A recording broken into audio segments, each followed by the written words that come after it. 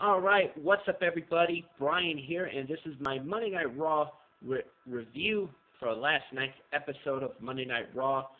So let's get right into it. I'm not going to get into a full review. I'm just going to give the some of the main points of last night's Raw. Uh, one big point is that we found out uh, two things uh, from General Manager Kurt Angle uh, last night on last night's episode that one, uh, Jason Jordan had to have neck surgery uh, last week, and that he is going to be out, and he is going to be he's going to miss WrestleMania, which caused the fans to cheer. Uh, we also found out that uh, he also announced that at Elimination Chamber the event for uh, Raw coming up uh, a week from this Sunday that Ronda Rousey will be at, a, at the at the event to sign her Monday Night Raw contract. So obviously, uh, the new reports of on different sites of Ronda Rousey maybe being a part of WrestleMania um, there had been talk of that there's going to be a tag match with Triple H and Stephanie McMahon taking on Ronda Rousey and a, and a, and a tag team partner um, at WrestleMania. So it looks like they're going to start that build of uh, Ronda Rousey being a part of the Monday Night Raw roster, so that so then they can build that that whole feud up going into Mania. Um, so those were two things that we found out last night. Uh, we also found out that uh, who is going to be entering the Elimination Chamber first uh, in a match with John Cena and The Miz. The, the Miz lost on last night's Raw to John Cena. Uh, therefore, he is going to be entering the Elimination Chamber first. Uh, it'll be interesting to see who will be the second uh, entry, or who's going to be, you know, fighting the Miz for those first few minutes in that elimination chamber. We'll have to wait and see. Uh, we do know that Elias, with the victory last week in the triple threat match over John Cena and Braun Strowman, he'll be entering the elimination chamber last. So that's a huge advantage for Elias. Uh, speaking of Elias, he was involved in a very funny segment last night on Raw. Uh, he was in the ring singing the Elimination Chamber Blues, where he was basically insulting the other uh, uh, four combatants that were announced, uh, where uh, you know, he was insulting The Miz, John Cena, Roman Reigns, Braun Strowman. Um, and then the ring announcer would get on the mic and say, Ladies and gentlemen, Braun Strowman. And Braun Strowman would, would appear on the stage in the same setup as Elias, but he would have this big, monstrous bass. Uh, it, you know, look like a like a cello, not a cello, but like a uh, you know, like a cello type deal. Uh, and basically, um, he would start to mock Elias the way he was singing. Uh, he then would go down to the ring. Uh, Elias would attack him, try to hit him with uh, his guitar, but Strowman hit a running power slam. And then when Elias was crawling up the ramp at the top, uh, uh, Strowman would uh, grab his bass and literally smash it over the back of Elias and that was pretty funny. If you guys have not seen that segment, I would recommend checking it out uh, or finding a clip of it. I thought it was pretty funny.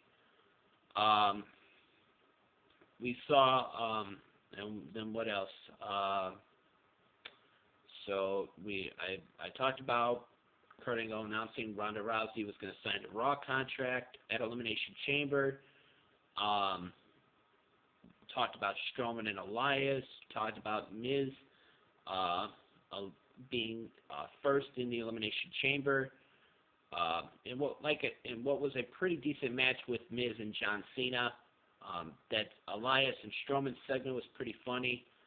Uh, that brings us to the main event, which was a fatal five-way uh, match to see who would enter, who would be the sixth uh, and final participant for the Elimination Chamber, and um, it was it was a going to be a fatal four-way involving Apollo Crews, Matt Hardy, Bray Wyatt, and Finn Balor, who had all had opportunities to qualify for the Elimination Chamber but lost.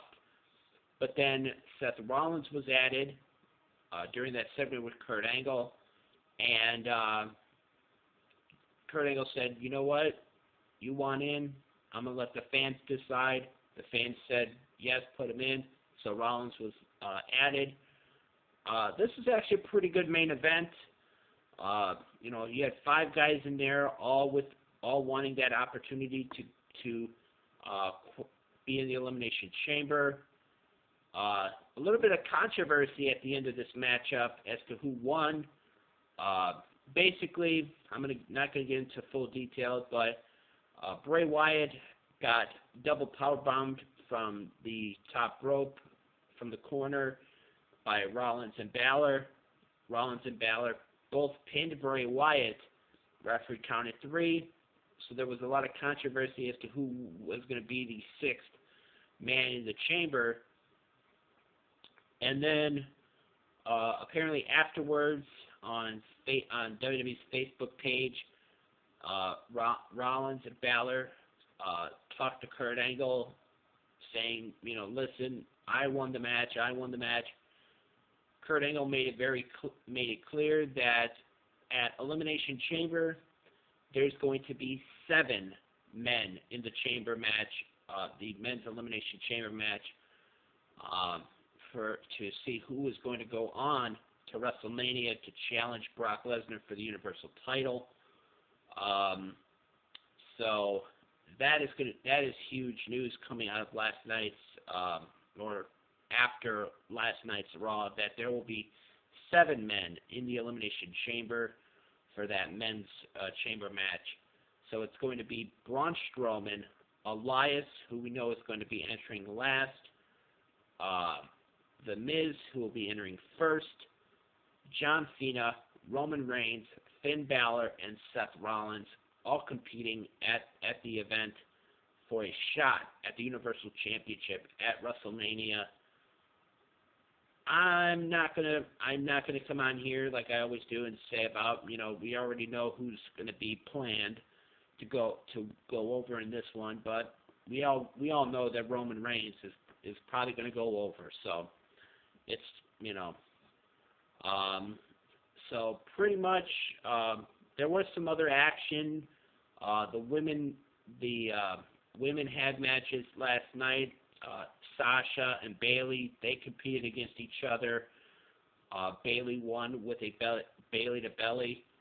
Uh, Absolution's, Mandy Rose and Sonya Deville, they de- they defeated Mickie James and Raw Women's Champion Alexa Bliss. Of course, those two, those four women, um, and um, we know that at Elimination Chamber, it's going to be Alexa Bliss defending against Mandy Rose, Sasha Banks, Bayley, and uh, Mickie James and Sonya Deville in a six-woman uh, elimination chamber match. Um, and that was pretty much it. I mean, there was some other, like I said, there was some other matches that happened, uh, but pretty much that was just the gist of what I what I took from last night's Raw. Uh, I thought last night's Raw was pretty good. Uh, the last three weeks have been uh, have been really good uh, episodes of Raw. So um, hopefully they can keep it up next week. So with that being said, if you guys watched Raw last night, let me know what you guys thought of it in the comments below. Uh, I'm sorry uh, if I was rambling in this video. Um, I had just got done finished watching Raw a few minutes ago because I DVR'd it. So I thought I'd make a, a video giving my thoughts on last night's Raw. I thought it was pretty good, a pretty good episode. I thought the segment with Elias and Braun Strowman was funny. I thought that uh, the John John Cena versus Miz matchup I thought was pretty good. But uh, other than that, I thought last night's episode was was actually a pretty good episode uh, with a lot of build heading into Elimination Chamber. So, with that being said, as I mentioned, if you guys watched Raw last night, let me know what you guys thought of it. Uh, so, this has been my Raw review for last night's episode of Monday Night Raw. I am Brian, and thank you for watching.